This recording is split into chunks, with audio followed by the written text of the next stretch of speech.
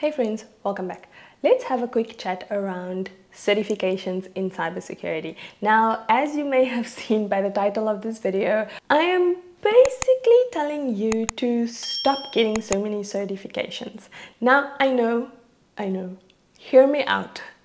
Hear me out on this. I have some actual legit points, I think, and if you're a person who enjoys getting certifications and you want to keep on getting your certifications, then you do you. This is by no means a video intended to take you off of your journey that you are on now. It's just to shed light on some of the things to consider when you are getting certified. Firstly, let's talk about the impact of certifications in cybersecurity. Employers like certifications, they do.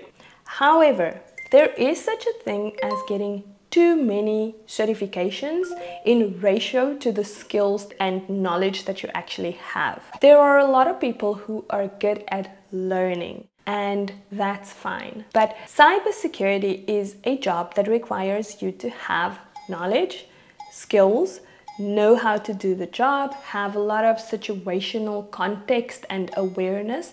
And just by getting a lot of the certifications that's out there, you don't necessarily get all those components along with a certification. There are different situations here, right? So there's the purely theoretical certifications like many of the CompTIA certifications and then also even some of the ethical hacking certifications are purely theoretical, which is always a kind of an interesting observation for me because ethical hacking is not theoretical anyway but then you also get some of the certifications and accreditations that you need to have hands-on practice to be able to pass those certifications and become accredited. That's kind of the give or take here because if it's a certification that requires you to actually do hands-on labs and build things and have certain skills, then of course that is kind of a more well-rounded certification. But if it's only a theoretical certification you also need to make sure that you yourself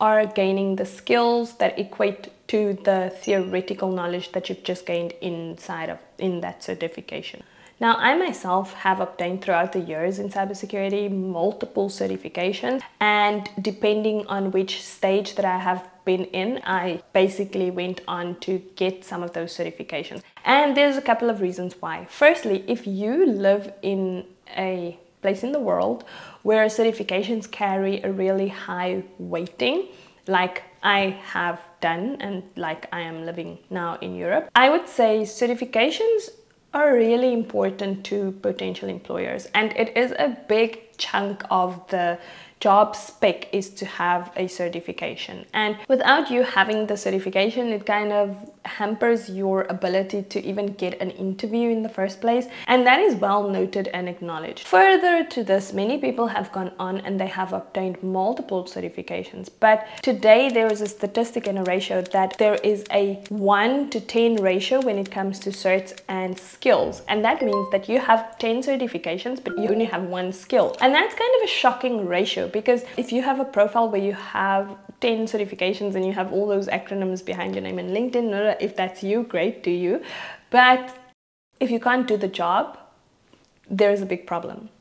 So that's the one thing. The lack of demonstration to be able to do the job compared to the certifications that you have might really be an extremely limiting factor for you when it comes to actually trying to get the job. And then the second thing is also financial compensation. So if you are doing multiple certifications and some people even do advanced type certifications and you don't really have the skills to back that up, then your employability becomes into question here because what kind of salary are you expecting? Because you've invested a lot in certifications and you've invested a lot in your profile but you're kind of flanking out in an interview because of knowledge based questions or because of an employer requiring you to have certain skills. That really limits the employability that you will have in the industry. Now that I've been the bearer of grim for a good how many minutes a good few minutes,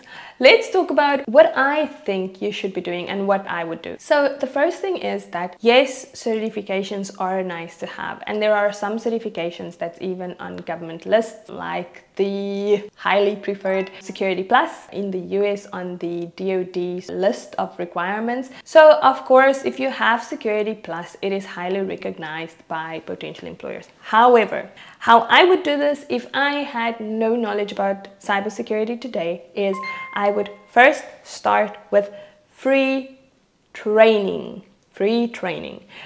Training and certification programs, not certifications, they give you the ability to gain a lot of knowledge around the topic that you are interested in. For example, if you look at a platform like Cybrary, interestingly enough, Cybrary was one of the first platforms that I started on and did a bunch of micro courses on Cybrary. And if you start on a platform like Cybrary, you can really start learning the fundamentals of cybersecurity. You can do a lot of different courses on cyber related to gaining knowledge in cybersecurity. Further to that, foundational programs like the programs that's available on Coursera, there is the Google cybersecurity certification, the Microsoft one, the IBM one. I mean, Pick any one of those and start just gaining the fundamental knowledge. Because while this is not an actual certification and accredited certification, this is a program that will offer you knowledge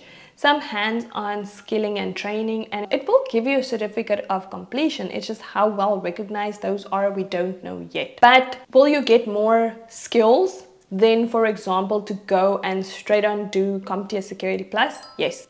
Will you get more knowledge, theoretical knowledge, by going through all the content of Security Plus? Yes. So how do you marry the two together? So I would firstly, and this is just me, starting from zero, go on Cybrary, look at some of the free training there, get an introduction how to start the journey. Then go on to Coursera and maybe do one of those certificate courses. Thereafter, I would actually start getting into the theoretical learning of Security Plus. And while I'm doing this, I would go on a platform like TryHackMe. And while I'm doing domain one of Security Plus, I would then go and build some skills in parallel on TryHackMe for that. So yes, your journey to getting certified in Security Plus will be slightly longer, but you will be gaining practical skills for each of those domains as you go along the way. And then you have a better chance to ace Security Plus, but you also have the ability to put multiple other skills and certification programs and knowledge levels onto your profile by the time you need to apply for a job. And this ultimately would make you a more well-rounded professional even when you're applying for a beginner level type job. Speaking of beginner level type job, let us address the elephant in the room because there is also a lot of industry talk around the fact that cybersecurity is not necessarily a beginner level job. And while I agree with this, I would say it differently. I would say there are no true entry level jobs in cybersecurity, but as a beginner, you can get into the industry. There's a difference. So if you're a beginner and you hear all of this explaining around the fact that there are no entry level jobs, then take that and make it your motivation to gain more skills. Because if you are gaining skills throughout your educational journey, then it means that you are also not entry level. And so the fact that there are no true entry level jobs does not impact you because you are not truly entry level because you have multiple skills. If you have no skills, you're a complete beginner. If you have some skills, then you are a beginner, but a skilled beginner. And organizations are looking for skilled beginners. I am not against certifications. I would like to make that very clear. I appreciate certifications. I appreciate the weight that certifications hold, especially in cybersecurity. I appreciate the fact that some certifications in actual fact have the ability to really swing and change your career. I spoke about this in my last video. You can go check it out. If you have an entry level cert, an intermediate level cert, and an advanced level cert, but you have no skills, you're really, really, really on the wrong trajectory here. And then you will be sitting and becoming demotivated by not getting a job in the industry, even though you are over certified or overqualified, can we call it that? So, really, this video I think is just to emphasize the fact that you can learn in your own way, you can gain skills in your own way, you can gain certifications if that's on your roadmap to do so. But make sure that with every certification that you gain, you can back it up with experience. And this doesn't have to be working experience.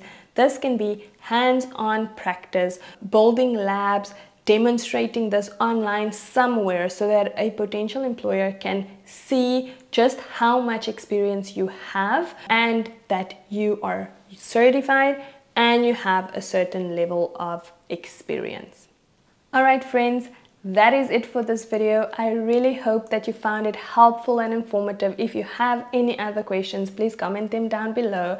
And if you are new, I would love it if you subscribe and if you like this video. Catch you next time. Bye.